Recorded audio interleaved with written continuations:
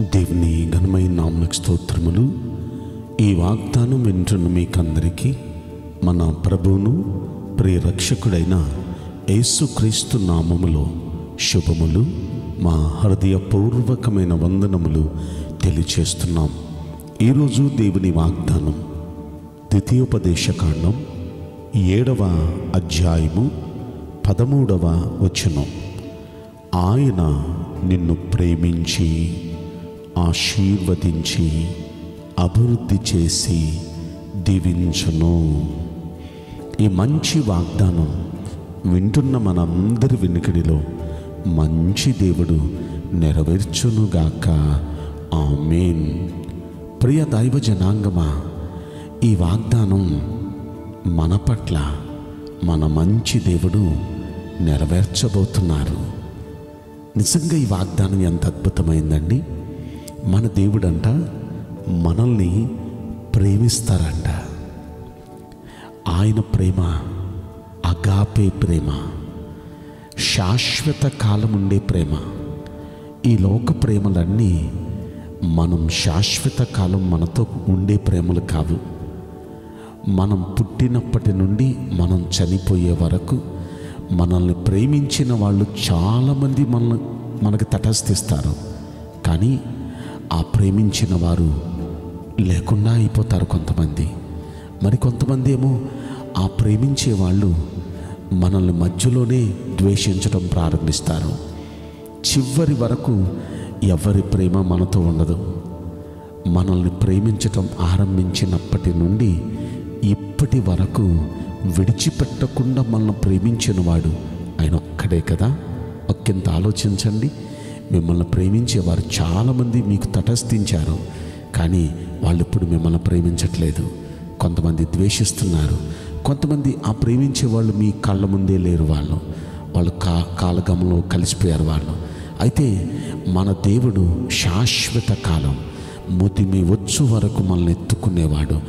తల వెంట్రుకలు నెరయ్యే వరకు మనల్ని మోసేవాడు. ఆయనే మనల్ని కలుగు చేశాడు ఆయనే మనల్ని ఎత్తుకొని చివరి వరకు మనల్ని మోస్తాడు. సదాకాలం ఈ దేవుడు మనకు తోడుగా ఉంటాడు. కాబట్టి ఈయన ప్రేమ శాశ్వతమైన ప్రేమ. ఆయన అంటున్నారు ఈరోజు మనతో నేను మిమ్మల్ని ప్రేమిస్తాను అంటున్నారు. ఆయన ప్రేమ అసలు ప్రేమకు నిర్వచనమే ఆయన. ఎలాంటి పరిస్థితులు ఉండగా ఎవరిని దేవుడు ప్రేమి ప్రేమించారో చెప్పన? ఈ రోమపత్రిక ఐదవ అధ్యాయంలో అంటారు మనం ఇంకొన్ని పాపులమై ఉండగా ఆయన మనల్ని ప్రేమించారు. ప్రేమించి ఏం చేశారు? ప్రాణం ఇచ్చేశారు మన కోసం. ఏ పరిస్థితులు అంటే మనం పాపులుగా ఉండగా చాలామంది మంచోళ్ళు ప్రేమిస్తారు చెడ్డోళ్ళని ఎవరు ప్రేమించరు. మనం చెడ్డోళ్ళు అని తెలిసి మనల్ని ప్రేమిస్తున్నారు ఆయన. ఎంత గొప్ప ప్రేమ అండి ఏసే ప్రేమ. కనుక ఈ వాగ్దానం వింటున్న మనం మంచోళ్ళమని కాదు ఎందుకో మన దేవునికి మన మీద ప్రేమ కలిగింది. ఆయన అంటున్నారు నేను నిన్ను ప్రేమిస్తున్నాను. ఆయన ప్రేమ అద్భుతమైనది. ఆయనలాగా ఎవ్వరూ ప్రేమించలేరు. ప్రేమిస్తే ఆయన మేలు చేసినట్టు ఎవ్వరూ మేలు చేయలేరు. ప్రేమించటమేనా?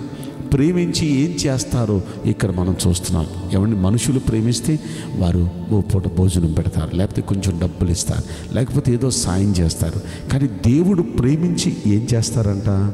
ప్రేమించి ఆశీర్వదిస్తారంట. అబ్రహామును గురించి మనం చూస్తే అబ్రహామును దేవుడు ఆశీర్వదించాడు.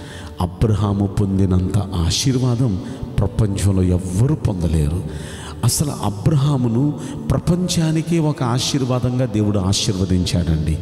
అతన్ని అతని సంతానాన్ని భూలోకంలో ఉన్న సకల వంశాలకు ఆశీర్వాదంగా దేవుడు అబ్రహామును ఆశీర్వదించాడు. ఎంత గొప్ప ఆశీర్వాదం. అన్ని విషయాల్లో అబ్రహామును దేవుడు ఆశీర్వదించాడు. ఆది కాండం ఇరవై నాలుగవ అధ్యాయంలో మొదటి వచ్చిన మనం చూస్తాం. అన్ని విషయాల్లో అన్ని విషయాల్లో మనం ఒకసారి ఆలోచిస్తే దేవుని ఆశీర్వాదం వలన గొప్ప గొప్పవాడైపోయాడంట. అబ్రహాము గొప్ప గొప్పవాడైపోయాడు. నిజంగా అబ్రహామును ఆశీర్వదించింది దేవుడే ఇస్సాకును ఆశీర్వదించింది దేవుడే యాకోబును ఆశీర్వదించింది దేవుడే యోసేపును ఆశీర్వదించింది దేవుడే. బైబిల్ గ్రంథంలో ఉన్న భక్తులందరినీ ఆయనే ఆశీర్వదించాడు. నూట పదిహేనో కీర్తనలు అంటాడు పిన్నలనేమి పెద్దలనేమి తన యందు భయభక్తులు గల వారి అందరినీ యహోవా ఆశీర్వదిస్తారు అని. నిజంగా ఆయన ఆశీర్వదించే దేవుడు. అసలు మనల్ని ఆశీర్వదించటానికే పుట్టించారు ఆయన. కాబట్టి ప్రియ దైవ జనాంగమ మనల్ని పిలిచింది ఆశీర్వాదానికి వారసులం అవటానికి. కనుక ఈరోజు వాగ్దానం చూడండి ఆయన మనల్ని ప్రేమిస్తున్నారంట. ప్రేమించి ఏం చేస్తారు? ఆశీర్వదిస్తున్నారంట. ఆశీర్వదించి ఏం చేస్తారు? ఆయన ఆశీర్వాదంలో అభివృద్ధి ఉందండి. అభివృద్ధి చేస్తానంటున్నారు. అభివృద్ధి ఒక్కసారి మనం ఆలోచిస్తే ఇస్సాకును గురించి మనం చూస్తాం. ఆది కాండం ఇరవై ఆరు అధ్యాయం పన్నెండవ వచ్చంలో ఇస్సాకు ఆ దేశముందున్నవాడై విత్తనము వేసి ఆ సంవత్సరం నూరంతుల ఫలము పొందాను. యహోవా అతన్ని ఆశీర్వదించను కనుక ఆ మనుష్యుడు గొప్పవాడయ్యాడు. అతడు మిక్కిలి గొప్పవాడగు వరకు క్రమక్రమముగా అభివృద్ధి పొందుచూ వచ్చాను. అంటే అలా అభివృద్ధి అభివృద్ధి అభివృద్ధి ఎంతకంటే మిక్కిలి గొప్పోడయ్యే వరకు అభివృద్ధి చేస్తూ వచ్చాడు ఇస్సాకును. ఏ ప్రాంతంలో అంటే ఇరవై ఆరవ అధ్యాయంలో మనం చూస్తాం కరువు ప్రాంతం. భయంకరంగా కరువు తాండవాడుతున్న దినాలు కరువు కాండమాడుతున్న ఆ దేశం అది. అలాంటి దేశంలో ఈయన దేవుడు ఆశీర్వదిస్తున్నాడు ఆశీర్వదిస్తున్నాడు అభివృద్ధిలోకి తెస్తున్నాడు. ప్రియ దైవ జనాంగమ లాక్డౌన్ కావచ్చు. ప్రస్తుతం బయట పరిస్థితులు పనికి వెళ్ళలేని పరిస్థితులు కావచ్చు ఇబ్బందికరమైన పరిస్థితులు కావచ్చు. దేవుడు ఆశీర్వదిస్తే మనం చిన్ని పని చేసినా కొంచెం సేపు పని చేసినా అందులో దేవుని ఆశీర్వాదం ఉంటుంది. ఆ ఆశీర్వాదంలో అభివృద్ధి ఉంటుంది. కనుక ఈ వాగ్దానం వింటున్న ప్రియ దైవ జనాంగమ మీ అందరి కుటుంబాలను దేవుడు ఆశీర్వదించునుగాక ఆయన ఆశీర్వాదములో అభివృద్ధి ఉంది. కరువులో కూడా ఆశీర్వదించి అభివృద్ధి చేసే దేవుడు. అభివృద్ధి మాత్రమే కాదండి ఆ కింద అంటున్నారు ఆయన మిమ్మల్ని దీవిస్తారు. దీవిస్తారండి ఆయన. దేవుడు దీవిస్తే మనం ఏ పని చేసినా పనిలో మనం గొప్పవాళ్ళం అవుతాం. యోబు గ్రంథం మొదటి అధ్యాయంలో పదో వచనంలో మనం చూస్తే అక్కడ అంటాడు యహోవా అతని చేతి పనిని దీవించుట చేత దేశంలోనే అతడి ఆస్తి గొప్పదైపోయింది. అంటే యోబు గొప్పవాడైపోవటానికి గల కారణం అతని చేతి పనిని దేవుడు దీవిస్తున్నాడు.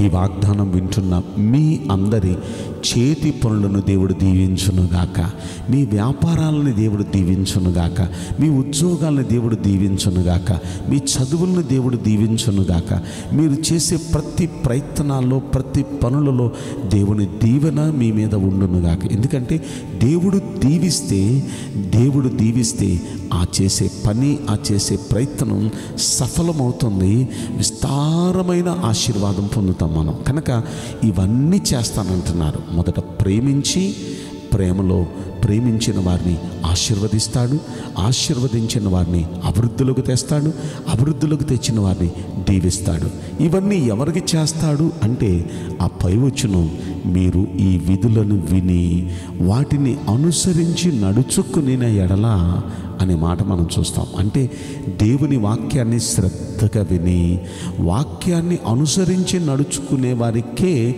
ఈ ప్రేమ ఈ ఆశీర్వాదం ఈ అభివృద్ధి ఈ దీవెన దేవుడు అనుగ్రహిస్తాడు. కాబట్టి ఈ వాగ్దానం మీ పట్ల నెరవేరాలా? నెరవేరాలంటే మనం ఆయన మాటలు ఇకనైనా శ్రద్ధగా విందాం. శ్రద్ధగా విని ఆ మాటల్ని అనుసరించి నడవటానికి తీర్మానం చేసుకుందాం. అలా మనలో ప్రతి వ్యక్తి తీర్మానం చేసుకొని దేవుని చేత ప్రేమించబడదామా? దేవుని చేత ఆశీర్వదించబడదామా? దేవుని చేత అభివృద్ధిలోకి వద్దామా? దేవుని చేత దీవించబడదామా? అక్షరాల ఈ వాగ్దానం మనందరి వెనుకడిలో మంచి దేవుడు నెరవేర్చునుగాక ఆ మెయిన్ నేను మీకోసం ప్రార్థన చేయబోతున్నాను. పరిశుద్ధుడా ప్రేమగలేసు రాజా మీ పరిశుద్ధ బంగారు పవిత్రమైన నామునకు నిండు మనసుతో కోట్ల కొలదిగా స్థుతులు స్తోత్రములు వందనాలు చెల్లిస్తున్నాం. ఈ వాగ్దానం వింటున్న ప్రియుల జీవితంలో దయచేసి ఈ వాగ్దానం నెరవేర్చి కృప చూపించండి. మీ బిడలను దయచేసి మీరు ప్రేమించండి. వారిని ఆశీర్వదించండి. వారిని అభివృద్ధి చేయండి. వారిని దీవించండి. అయ్యా నీ బిడలందరినీ అన్ని విషయాల్లో మీరు దీవించి వర్తిల్ల చేయమని ఈ కొద్ది మనవులు నజర్వేడని యేసుక్రీస్తు ప్రశస్తమైన నాములు మిక్కిలి వినయముతో ప్రార్థించి బ్రతిమలాడి వేడుకుంటున్నాం.